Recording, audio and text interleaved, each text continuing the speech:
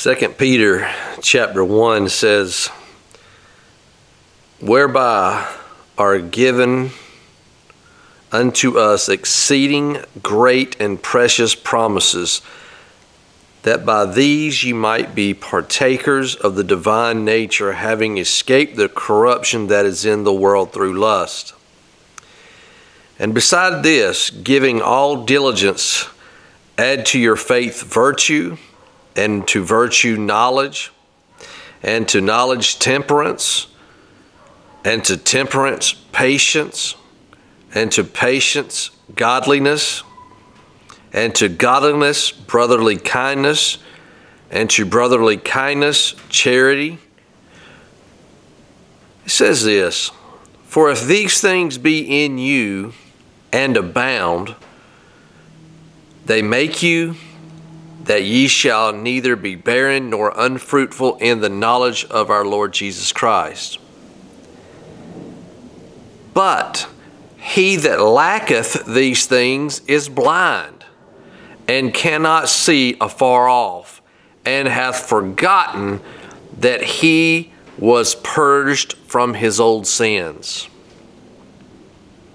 That is 2 Peter chapter 1. Now in Galatians chapter 5, it says this Now the works of the flesh are manifest, which are these.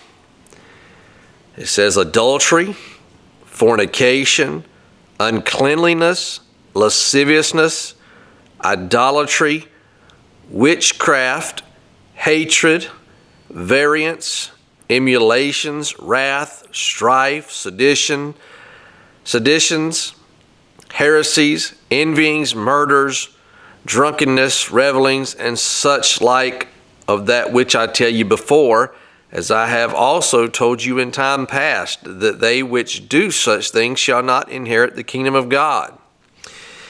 But he says this, but the fruit of the Spirit. He says some things I want to talk to you for a second here. But the fruit of the Spirit is love, joy, peace, long suffering, gentleness, goodness, faith. It says meekness, temperance. Against such there is no law. And they that are Christ's have crucified the flesh, which uh, with the affections and lust. If we live in the Spirit, let us also walk in the Spirit. I've given you two scriptures here, several scriptures, as a matter of fact, out of two different chapters. But in Galatians chapter 5 and verse 22, I'm going to read that one more time so that we can be very clear on this. But the fruit of the Spirit is love, joy, peace, long suffering, gentleness, goodness, faith, meekness, temperance. You know, this past weekend, we had a great weekend. We uh, had several different families down uh, to preach at the Lexington Barbecue Festival here in Lexington, North Carolina. We were able to sit down and fellowship and to go out and to minister in the streets here in North Carolina. And um, we were able to go out and to preach the gospel. Um, and I, I, you know, I was able to meet one new young family, and uh, it really got me excited because uh, I don't, you know, it's like I, I've, I've, I don't get to meet too many young families. This family was very young as a family who joined us from Pennsylvania, and uh, we had a great time. And um, it really made me think about this topic about um, husbands, wives. Um, made me think about the fruits of the Spirit. You know, as, as this young couple was down, I, I had a chance to minister to them a little bit, and uh, kind of share my thoughts on what it takes to uh, endure in the ministry, what it takes to basically hang in there and not get discouraged. You know, I, t- I, I take that time very seriously, and um, you know, when I was talking to them, I probably uh, bored them to death by, you know, sharing all the scriptures and thoughts that come to my mind. But you know, as I see, and I've been a Christian for quite some time now, and I've been in the street ministry, I just try to help people not to make the same mistakes that I did. And I think that was one of the biggest things that I wanted to share with this young couple this weekend. And not only them, other couples that joined us as well. So we went out and we preached and we we all had our time to preach and you know as I listened to everybody's preaching the preaching went very well. And after that we had a time of fellowship you know before we did and afterwards we did too. And uh, we were able to uh, put up a basketball goal. Our other one got blew down, blew down, blown down uh, by the storm that hit North Carolina uh, a little while back. It just snapped it in half, you know. So we got us a new one, and the brothers sit out and put that goal together. And if you look back in our live stream, you can see where we put that basketball together, and you can see the behind the scenes footage, some little talks that were happening during that time and some brothers were just sharing their thoughts on, um, you know, how they got born again and things like that. So go back and check that video out. But I was I was just thinking about, um, you know, unity, fellowship, um, being able to come together, and uh, seems like every time we come together, we have a great time. Really don't have any issues. Um, you know, but this this past weekend we were able to talk about a lot of topics, which I love. I, I, I would rather sit around and talk about topics and things like that, and I would preach, you know, because I feel like that, you know, when you are around each other, you, you really need to know about topics and issues and the thoughts and ideas and you know where each other stands and things like that, so that you know uh, you're able to work together uh, much more. Uh, you're, you're, you're a lot clearer on issues. You're um, you kind of know where each other's coming from and things like that. But uh, you know, I was just sitting here thinking about it this weekend and um, about unity and, and about this young couple coming in and you know just hoping that that uh, they would have a good time here and and to be able to uh, return and come back if they wanted to and and to be encouraged, and hopefully we can be of help to them. You know, when I was growing up as, as trying to come out into the mission field and try to minister and trying to figure out the, I guess, the right ways and the wrong ways to minister, I really didn't have that many people that helped me, and I didn't really know a lot of people. I just knew of street preachers, and sometimes that can be good, sometimes that can be a curse to you. It can be bad. Simply because of these things right here that I wanted to talk to you about today the, the, the works of the flesh and the fruits of the Spirit. You know, one of the topics we got to talking about this past weekend um, with the brothers was, um, you know, when you go home, you you really learn from your wife or your husband what they th- thought or felt about the, the, the weekend or the, any issues or topics that might have been brought up you know, like when families are together and they depart, the husband and wives, they get together and share their thoughts with each other of how they think things went and if they thought that there were any issues or uh, all about the good things. And, you know, um, and so I talked about that with the brothers, and I said one of the main things that I want you guys to understand is, you know, when you go back, your your wives are going to be able to sit with you and talk to you about the things that they saw that happened this week. And you know, so many times uh, in the ministry throughout all the years, you know, if you're not careful and you hang around the wrong people and you're you get caught up in wrong, I guess, wrong groups that rub off on you or um, that you adapt to and you change who you are simply because you want to fit in or you want to be a part of something. You got to be very careful with that because when you do that, sometimes you always have negative uh, testimonies, uh, stories. Um, you know, when you come home and share what you thought was good or bad, most time you, you, you see that it, it, it outnumbers uh, the bad. I mean, the uh, the bad is outnumbered by the goods. You know, I mean, the well, the goods are outnumbered by the bads because you have a lot of negative. You know, because you're really not in it for the right reason. You're in it because of everybody else's reasons. You want to be a part of a group. You want to fit in. So, you know, I, I was sharing with the with the brothers this weekend about wives, home life, um, your your behind the scenes footage, if you will. That's kind of what I want to talk about today. Um, husbands, how do you treat your wives? Um, I, I, just, you know, I've been thinking about that a lot. I, I've shared it with the brothers this weekend, and I want to share it with you guys because I think it's a, I think it's a huge deal, and I think that it's it's one it's one of the main things that really hurts ministries, ministries and ministers. Let's put it that way because a lot of times the wives have no clue what the husbands are doing as far as ministry is concerned. And oftentimes ministers are men who go out and they preach the gospel, and the women are usually left behind. They, they don't get to go out uh, and preach, they don't get to go out and to you know, stand with their husbands because most of the time this this country, this world, as a matter of fact, is so wicked and so hateful. It's hard to take women out there, women and children anymore, because it's just not good for them. Now, if you can find a family-friendly event that you can take your wife to or your your children to, hey, do it because I would. That's how we all started here in my family, and uh, I wouldn't have changed it for the world. Things are things are a lot different now than they were then, though.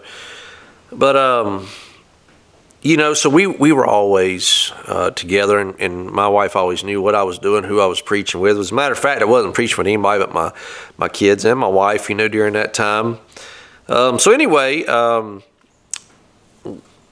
now it's just more uh, throughout my life, I guess, throughout my ministry. I think that most time I've been by myself or with the boys. I'm, I'm really never around um, events where the wife and children can go. But uh, normally now it's just men. And um, guys, what I want you to be careful of and what I want to speak to you today is the fruits of the Spirit and how do you treat your wife. Those two really go hand in hand because um, without the fruits of the Spirit, you're a deadbeat dad, you're a deadbeat husband, you're whatever, you're a deadbeat leader in your home. Because without these fruits of the Spirit, now you may be full of scripture, you may know how to preach, you may know how to run a church as a pastor. And like I said, all these things are things that I talked about with the brothers that I was with this weekend, and I want to share it with you because there's people that I'm I don't fellowship with that I think need maybe need to hear this. It may help you. It may encourage you, edify you. It may it may help you to want to change things in your life, you know, in your home. But you know, oftentimes uh, when you meet people, you realize that the husband and wife they're they're on two separate pages. They're they're not even on the same page. And and you know, I, I go back to the fruits of the spirit: love, joy, peace, long suffering, gentleness, goodness. I, you know, when I meet a lot of people, I just don't see the the spirits or the fruits or the or, or, the fruit of the spirit i don't see the long suffering i don't see the the peace in their life i don't see the the gentleness the the goodness the meekness i, I don't the temperance you know um, I don't see that in, in a ton of people. And that's why I say you got to be careful who you minister with because if you're not careful, that rubs off on you. You know, when when you're out on the street, this kind of goes together because the Bible says, consider the goodness and the severity of God. And if you're not careful when you go out, and you may go to an event where there's nothing but a lot of evil and hatred and, and really negative and bad stuff going on. And if you're not careful, all you preach is wrath and judgment, damnation, hellfire. I mean, you just you, you get so angry and you, you get bitter and you get hateful and you get out of balance. You know, the Bible says that a false balance is an abomination. And that's what I spoke to the guys about this weekend. And it's just something that God's really, really pressing me on lately. You know, pr- probably because I may need that in my own life. I'm, I've been looking and searching my own self to make sure I've got everything balanced out. Because He said, consider the goodness and the severity. Well, so when we're preaching the gospel, no matter what the situation is, if it's if it's a sodomite festival or an apple festival, the preaching should be the same level as far as the goodness and severity. I know I keep hearing this, well, when we go to certain events, the preaching should be harder one way than it is the other way. There, there may be a different approach, but the preaching is the same as far as the goodness and severity because it doesn't matter who you are talking to, everyone has to know the good or the bad, and then they have to see the good, the remedy, the hope, uh, the light again, he says a false balance is an abomination. He didn't say a false gospel, or, or any, he said a false balance. So, you know, when you're out there preaching, one person may be preaching out of balance, and God looks at it and says, "Well, you're preaching the gospel." But you're not keeping the you're not keeping it balanced there, my friend. You're not teaching the goodness and severity. You're just teaching nothing but severity. There is no remedy. There is no hope. There is no remedy. There, you know, so you're, you're telling them everything they're doing wrong, but are you telling them in what ways they can make it right? Are you giving that balance? Are you are you teaching the goodness and severity, preaching the goodness and severity? And so you know, a lot of times that's the way our home life is. We only focus on the spiritual. We focus on the, uh, God wants me to do this, God wants me to do that. Well, what about your wife? What about your home? What about your family? Um, it's all got to be done in balance. There's a balance in every single thing you do because, again, he said a false balance is an abomination. That means God's sick of you, God hates you what I'm here to say today, guys, is how do you keep that balance? You know, you can think that you're a good preacher. You know, Bible's very clear um, sometimes that men think more of themselves than what they ought to. One scripture I want to share with you in Proverbs chapter 19 it says, Better is the poor that walketh in his integrity than he that is than he that is perverse in his lips and is a fool.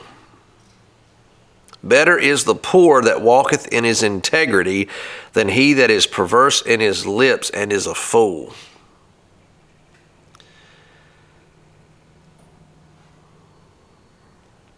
you to think about that for a second. Integrity is honesty, the quality of being honest and having strong moral principles that you refuse to change. You know, I would rather be poor and not have anybody know my name or not have anybody invite me to a preach or a fellowship or any of those things, and to be honest with myself, with my family and my children, and honest toward God, and know that everything that I did was of a clear and clean conscience rather than to speak highly, more highly of myself, like the scripture says. You'd speak more highly of yourself than you ought to man thinketh that you know he's something when he is nothing. That's what the Bible says. And to me, when I see a lot of preachers today, they speak more highly of themselves than they ought to. I see preachers all over the country who think that they are just the apple of God's eye. They think that they are just, you know, they're they're the ace player. You know, they uh, they think that without them, the group can't survive, or the fellowship won't continue, or the church can't thrive without them, or you get my point. Um, but again, I would rather be one of those people who is lowly, that poor guy who um, nobody really knows. But then when they meet you, they say, wow, this guy's a great guy. You know, this guy is somebody who seems like he's really in touch with the Lord. He preaches well. You can tell he loves his wife. You can tell he's a, a, just a good brother. You can tell he's got the whole counsel. He preaches the goodness and severity. But when you talk to his wife, you see another part of him.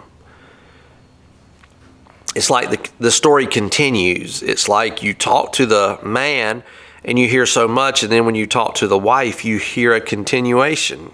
You hear the rest of the story because they're both walking in unity so well that they're one. And that's what the Bible says that when a man and a wife are joined together, they become one. They don't become separate. The man don't go and do the calling that God's put on his life and the woman gets left out or the woman never gets to experience what the man experiences. You know, I get to I, I, I think about these these conferences to where it's always about the guys. It's you know, every time I have an event or, or, I do something here at the house, I always tell the guys, I say, bring your wife, bring your children, let the women be together and let the children be together because this is a this is a, a group effort. This is we're in this together. You know, I I understand a lot of times sometimes the women can't come and, and that they have to stay back with the children and things like that, but whenever it's possible that they can, I think the women need the fellowship just as much as the men. And this is why I'm making this video because usually when you see a good godly man, you see a good godly woman. You know, when you see a, a, a man who's um, doing things right, you see a woman who's doing things right as well. When you see a man and a woman that are doing things right, usually you see children that are doing right. And I'm big on that. I, I, think that that's huge because I tell people all the time, if you want to see how I am or who I am, come meet my wife. If you if you want to see who me and my wife are, come talk to my children. You know, when I had the brothers and sisters over this weekend, I told them, I said, you know, if you want to know more, and just, you know, my kids were walking around, I said, pull one of them aside, ask them, talk to them ask them questions. Feel free. Ask them questions. You know, I mean, a lot of times people says, "Well, I wouldn't want that to happen because you're kind of scared of what they're going to say." I'm not. You know, I don't. I, you know, of course, I have things here that we don't tell people um, that are our little secrets and our little things here at our home, but. But as far as living, as far as Christianity, as far as life, as far as my attitude, as far as my behavior, ask anything because that's the real test is when people start quizzing who you really are. You know, it'd be easy for me to sit behind a camera like I'm doing right now and to quote scripture and, and things like that and to fool you, uh, just make you think that I'm somebody great.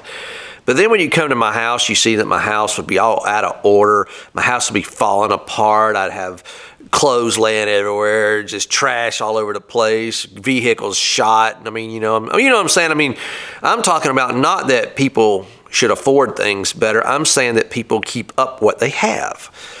Um, how do we present ourselves? How does our wives present themselves? How do our children present themselves? You know, am, am I the same in person as I am on the camera? You know, and, uh, and again, I, I, talk about these things the fruit of the Spirit joy, peace, long suffering, gentleness, kindness. I don't see that in a lot of people. I see a lot of people who's just ministry, ministry, ministry. But when you talk to their wives, when you talk to their children, you see that there is a out of balance in their home. You know, it's it's not even close. And I personally don't want to be around those people. I don't.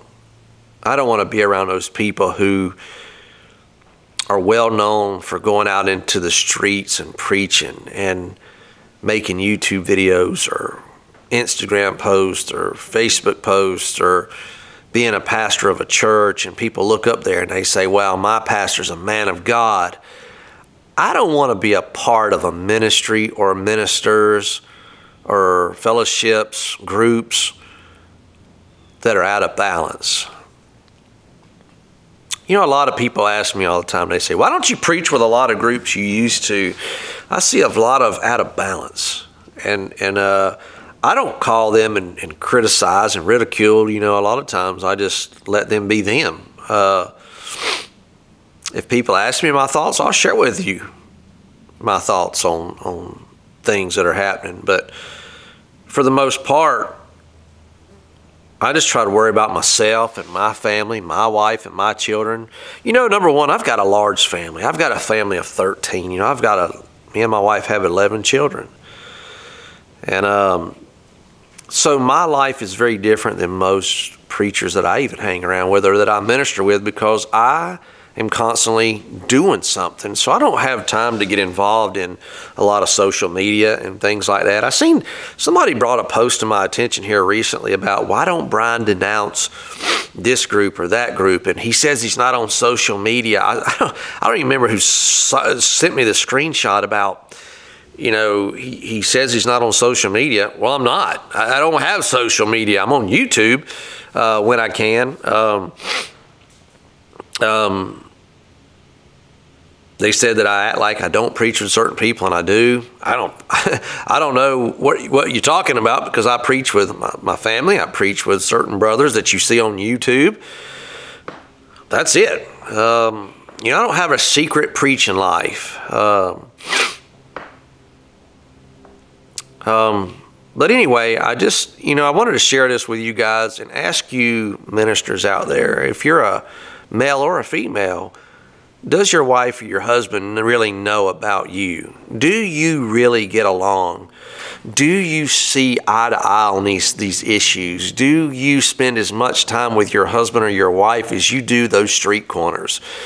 Do you, um, you know, I was telling the brothers this weekend, and um, I said if, if, if, if I knew there was issues, I'd be coming to them personally.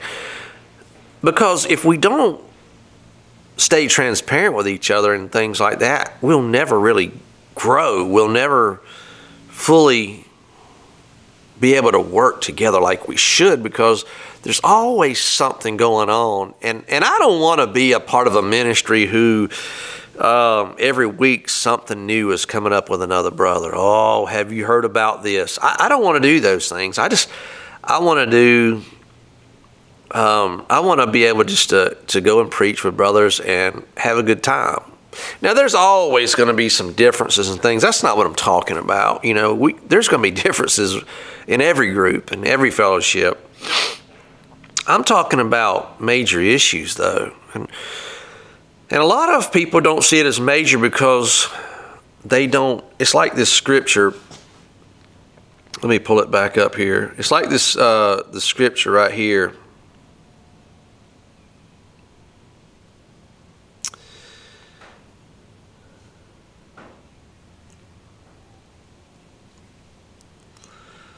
Man. Where's the scripture that I'm looking for?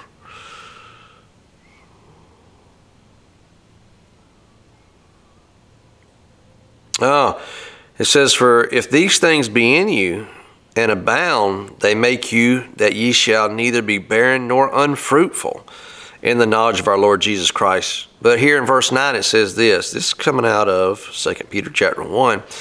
But he says, But he that lacketh these things is blind. So a lot of times people may not see that they are not fully transparent or loving, gentle, meekness, kind, patient with their wife because they're blind. And it says, and cannot see afar off, and has forgotten that he was purged from his old sins. You know, there's a lot of times we look and you know, I seen a, a video clip the other day. It was this morning, as a matter of fact. Me and my wife seen it. And the husband was just wasn't very nice uh, to his wife in a video. And, and I was sitting here thinking, wow, you know what? sometimes preachers are a pain in the butt.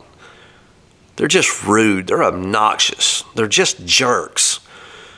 They're just self-centered. They're uh, everything revolves around them. You know, the the husband gets his head scratched and back rubbed and and uh, you know uh, babied and, and pampered all day long and all night long. And the wife sits there and slaves over him. And deep down she's miserable. Deep down she's she's she don't want nothing to do with Christianity to be honest with you. Because of the the actions that her husband displays in front of her you know it's it's and then you know a man gets on the microphone and he preaches and he he tells everybody else how to live their life. And the wife is kind of sitting behind the scenes saying well if they only knew how you treated me. I, you know i see that so often. I see that all the time. I, I see it all the time you know because street preachers i say street preachers because that's what i do you know? I mean i'm around a lot of different preachers and, and i see it all the time that's what makes me think sometimes about Christianity, and and I, I, see how fruitful the ministry can be, and I see how unfruitful it can be, because it says some people are blind to these things, and it leaves them unfruitful, and it shows that they have forgotten that somebody loved them and cared about them enough to step down and to help them.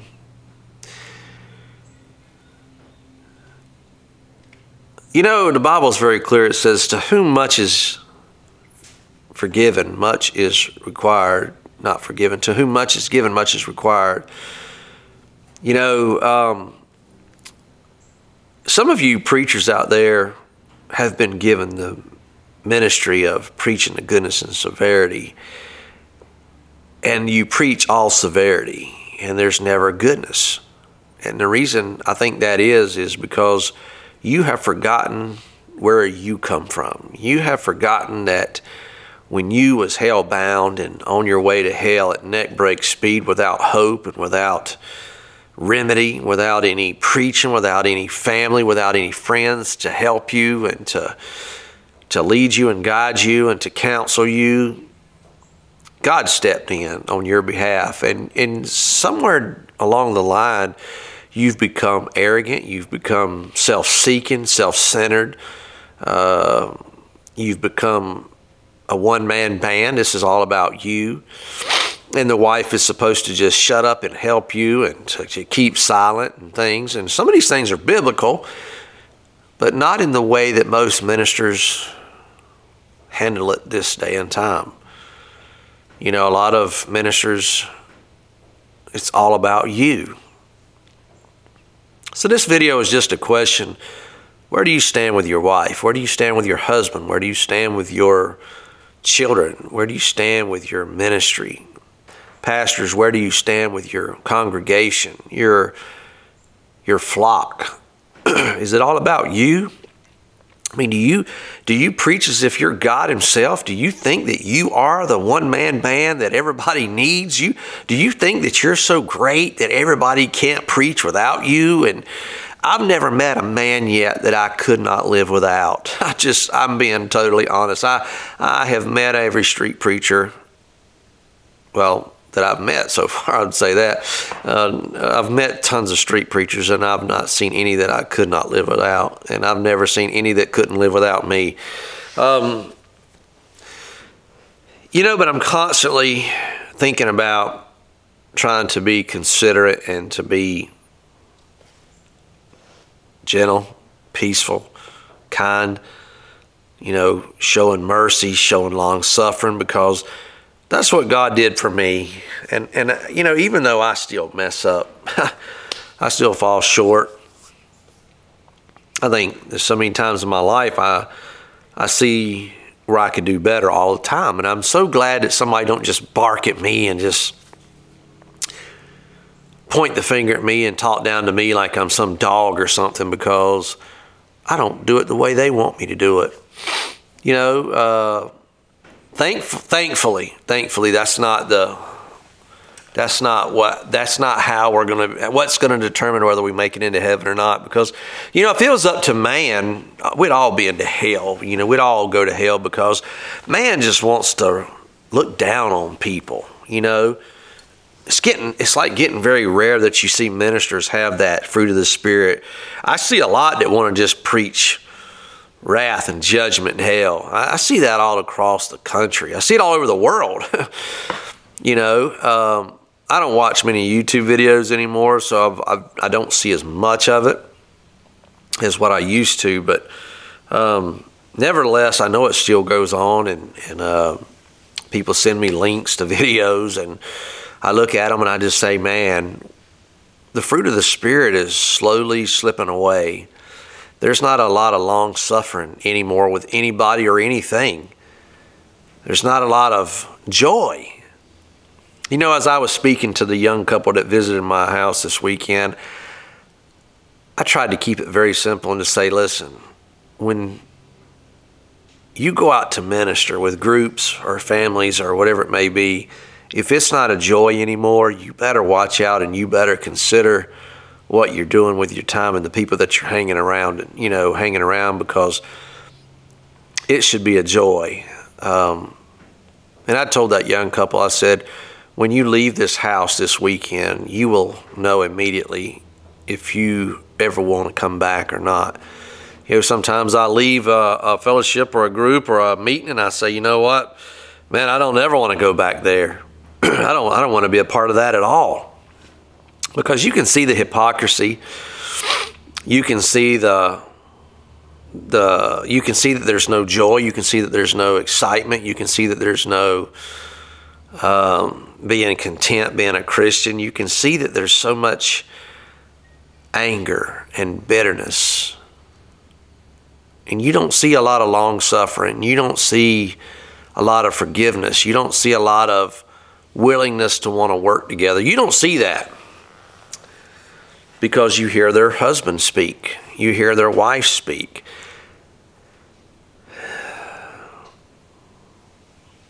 My um, I guess my challenge to you people out there that'll watch this is to,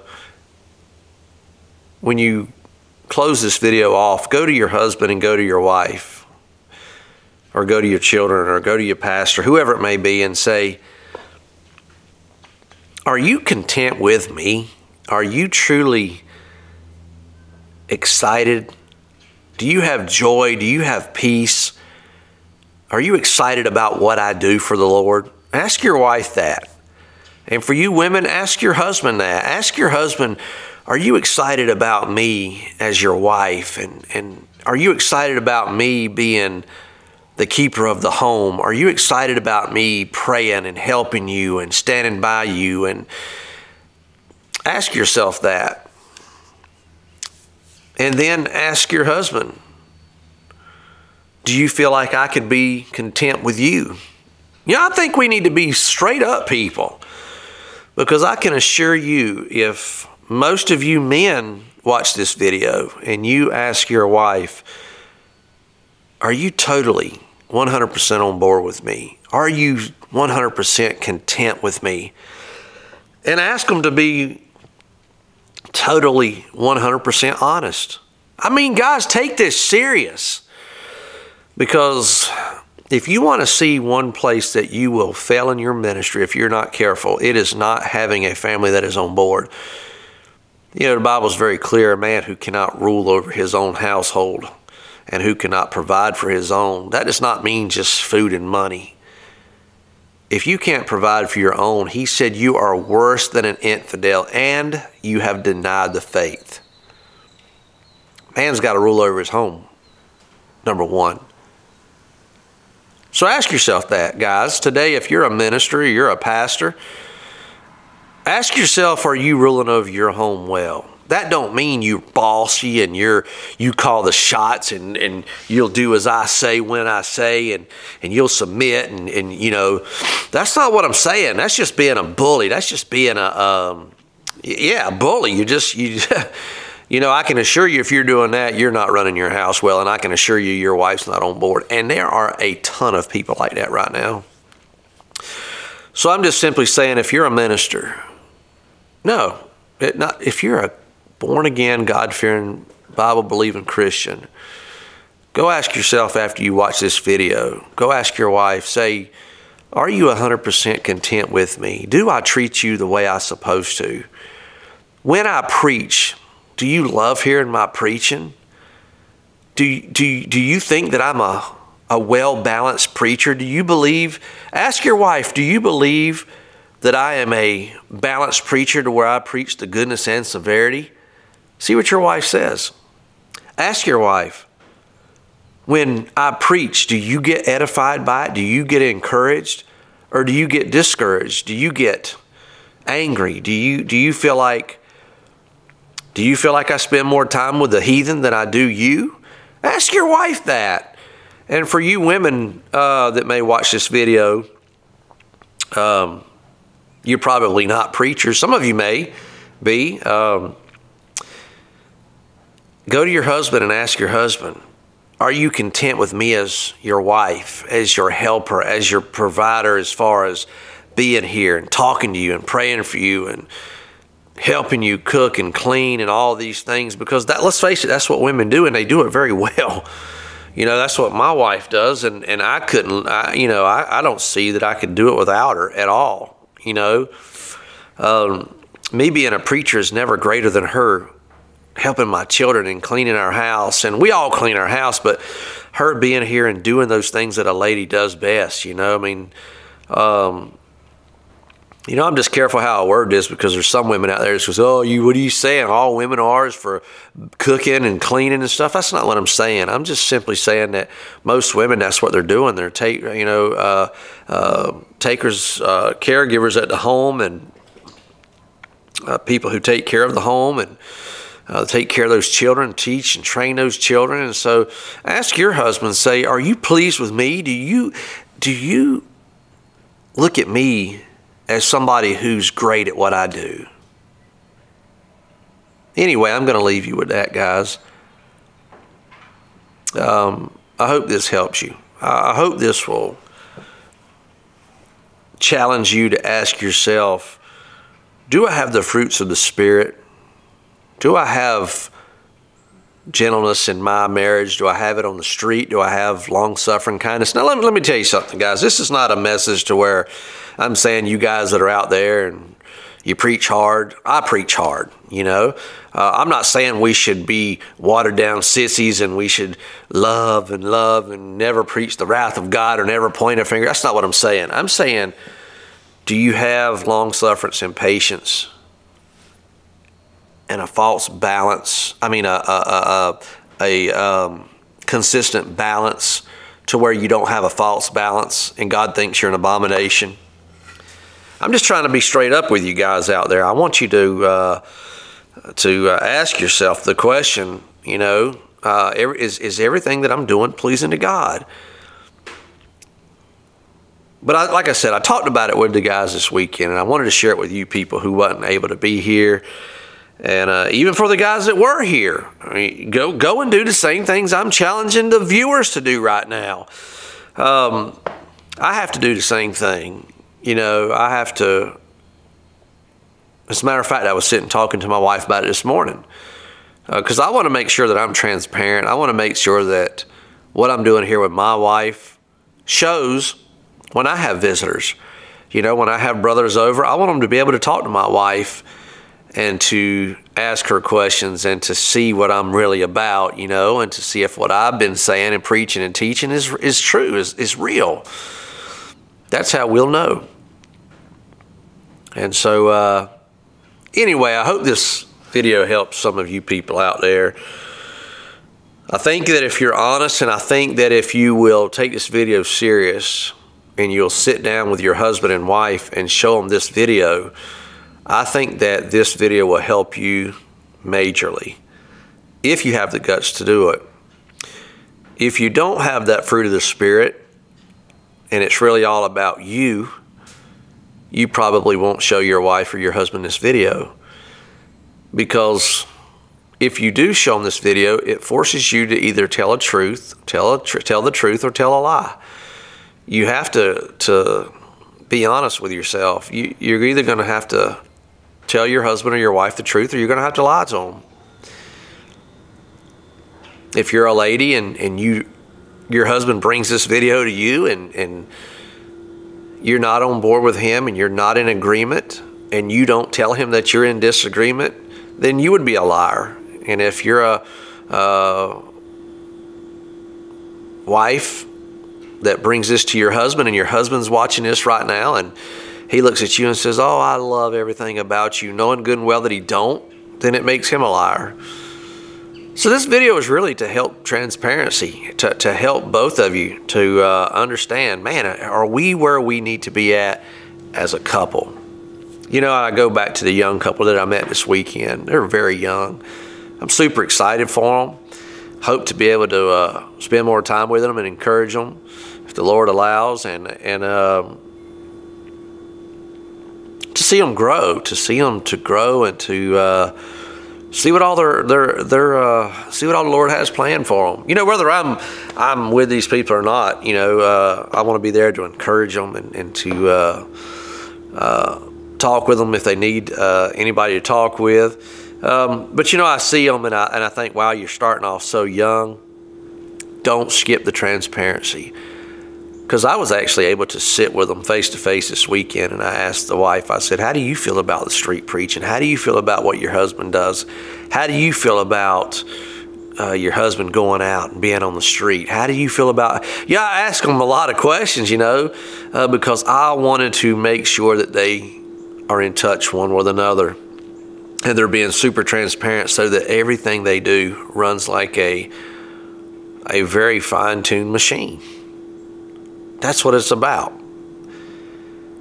And uh, anyway, so I guess the challenge would be is if you're a man, tell your wife you want to sit down and watch this video together. Ask yourself that question at the end. Are you pleased with me? Switch and see what the answers are. And if you're a woman and you're watching this video, sit down with your husband and at the end, ask the questions, switch places, uh, you know, quiz each other. Find out where you stand in your husband's eyes. Husbands find out where your wife stands in your in her eyes. You know where where where does everybody stand at? And I think that some of you may be surprised at what you find. If you're honest, if we're not honest, this is just a video to skip over. But if you want to be honest and you want to be transparent and you really want to know how your husband or your wife feels, sit down together and watch this video and answer these questions honestly in front of each other, eye to eye, face to face, and I'm sure that you're probably going to see some things that you can work on. That's what I'm doing. That's what I'm encouraging you to do. The whole reason for making this video is to let you guys know what I'm going through, what I'm doing. I'm just trying to share some things with you that's going on in my life. Um, I just want to make sure that everything's transparent, everything's good to go. Uh, everybody's on the right page, same page. You know, when I die, I don't want people to say, well, I just wonder, or what if, or I just wonder if this or that. I don't want that to be even a question or a thought. When I die, I want my wife to say, you know what, I know exactly where he stands or he stood, and I knew exactly what he believed and what he thought about me and the family and the ministry. And, and you know, I, I know what he was thinking before he died because it's a big part of me. So anyway, God bless you guys. I'll see you in the next video. Hope this helps. Be honest with yourself today. God bless you.